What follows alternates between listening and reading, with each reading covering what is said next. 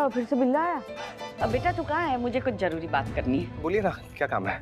वो क्या है? शादी के बाद तुम दोनों की पहली जन्माष्टमी। तो मैं चाहती हूँ तू और अपनी नताशा दोनों साथ में बाल गोपाल को झूला झूलाओ। मैं कृष्ण जन्म के बाद आऊँ तो चलेगा क्या? क्योंकि हम सब मंदिर जा रहे हैं जन्माष्टमी की पूजा करने। छुटकी को पग फेरे के लिए यहाँ क्यों भेज दिया?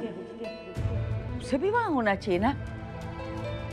क्या वो लोग उसे अपने परिवार का हिस्सा नहीं समझते कि यहाँ पे अब तो मुझे पता लगाना ही होगा कि आखिर बात क्या है।